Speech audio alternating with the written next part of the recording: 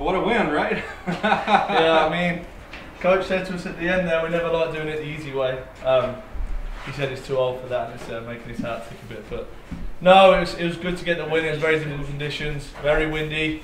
Um, we kind of shot ourselves in the foot in the first half when we was in control. But no, the lads dug in and we got out again, so just one more now. It seems uh, the theme uh, this year has been to come from behind, come from behind, but uh, I think it shows a little bit about the resolve that we have, right?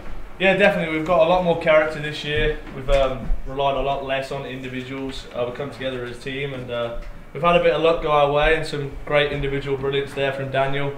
Got us the penalty and I was lucky enough to put it in the corner. Well, this is uh, your first uh, chance to address the fans as the Sooner Athletic Conference regular season player of the year. What do you think of the award?